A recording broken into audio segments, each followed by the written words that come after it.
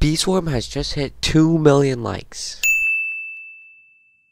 On it reads in the Beeswarm group, Beeswarm just hit 2 million likes, so naturally the code will be 2M likes. It grants 2 days of 2x pollen and 2x convert rate, as well as 2 pink balloons and 2 marshmallow bees.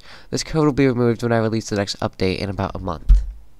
So if you aren't planning to play until Beesmas, you might just want to get on and use the code and probably use it or just do, do a little bit of boosting or grinding. Well, that wraps it up for this video. I'll see you guys in the next one. Peace out and goodbye.